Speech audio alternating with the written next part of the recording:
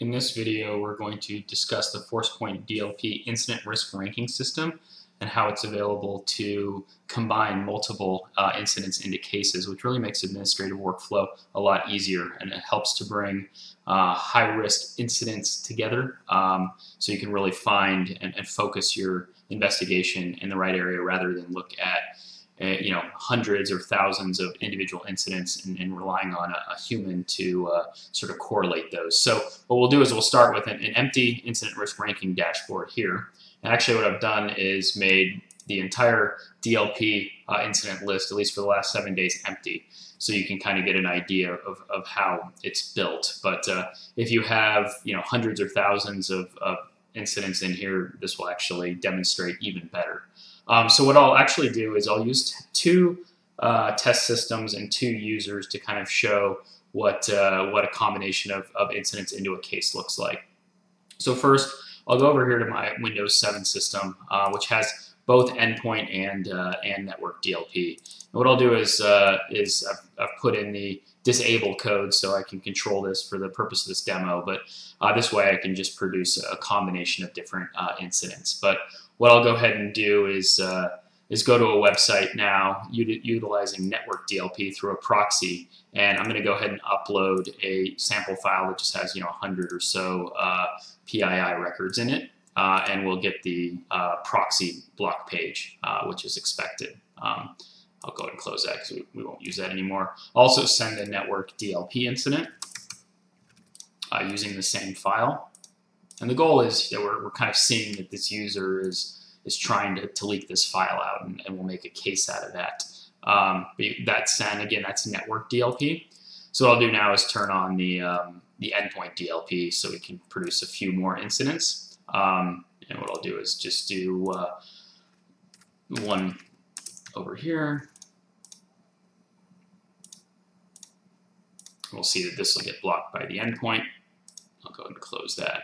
I'll close that. And what I'll do now is switch to another user because in a DLP environment, you know, things are, are happening at, uh, at different different rates. So this machine does not have the endpoint, but uh, we'll go ahead and upload, you know, a different file, which is just a database uh, um, of social security numbers that got blocked, and I'll go ahead and send a, a network um, here. And this is a different user. This is Abraham Lincoln.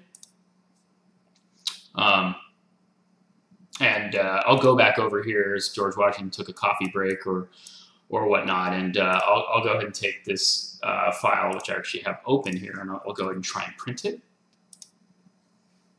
And we'll see that the print will uh, produce an, an, error prompt, uh, meaning that was blocked. Close that. I'll try to throw it onto a USB disk. That got blocked as well. Uh, and then I'll just uh, copy it into the share folder, and you can see that that got blocked as well. So we have a couple of different incidents over a bunch of different channels, uh, over a few different users. Uh, and when I refresh here, we'll see all eight of those incidents. So we have, you know, George Washington um, did, you know, HTTP, network endpoint email.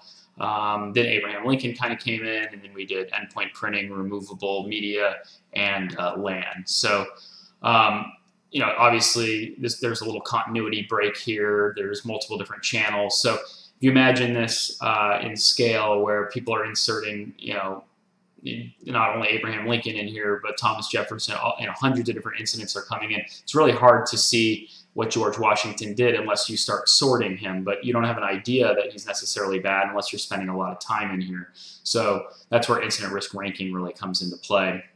So I'll do is pause it right now and we'll wait for the analytics engine to run. Okay, we're back. Now the analytics engine is run. That typically runs overnight um, because it's you know processing a lot of data.